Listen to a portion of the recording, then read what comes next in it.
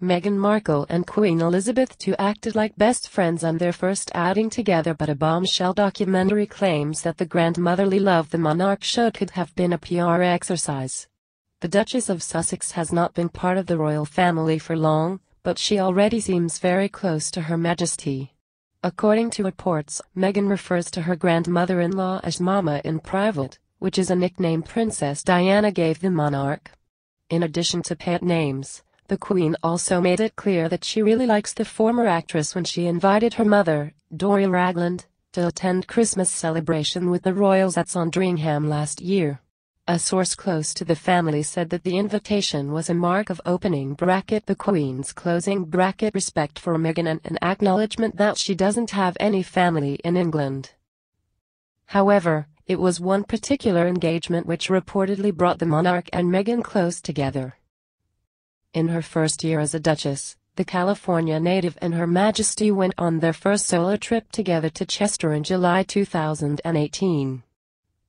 Kate Middleton only went on her first solo engagement with the Queen last month, since joining the family nearly eight years ago 2018 documentary Harry and Meghan, The First 100 Days notes how after that visit, the two became best friends. The Queen's former aide Dickie Arbiter said, the day itself was brilliant. The Queen and Meghan obviously have a tremendous rapport. I have never seen the Queen look so happy and delighted. She was smiling and laughing a lot.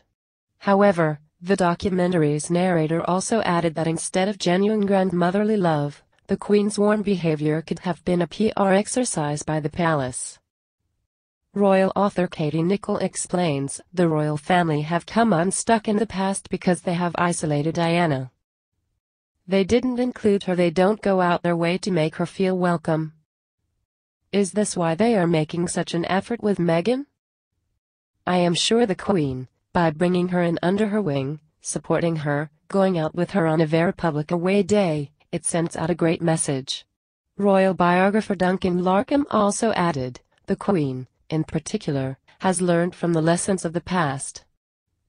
They know how badly affected Princess Diana was in the early years of her marriage, feeling that she joined this alien world that she couldn't cope with.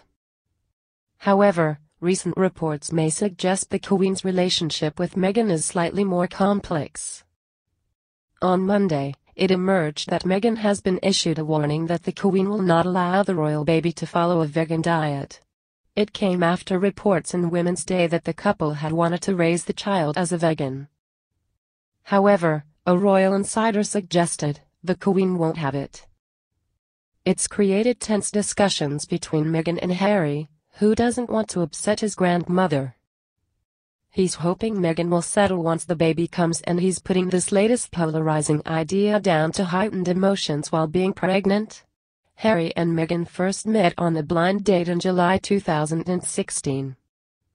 Following four months of behind-closed-doors dating, the news leaked in late 2016 that Harry was seeing a former Suits star. A source at the time told the Sunday Express that Harry was happier than he had been for many years and was besotted with Meghan. The relationship was confirmed in a formal statement in November 2016.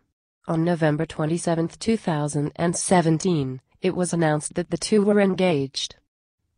At the photo call in the Kensington Palace Gardens afterwards, Harry was asked when he knew she was the one. He quickly replied, the very first time we met. They married in a breathtaking ceremony at Windsor Castle on May 19, 2018. What do you think? Share your thoughts in the comment section below and don't forget to subscribe to get instant news update.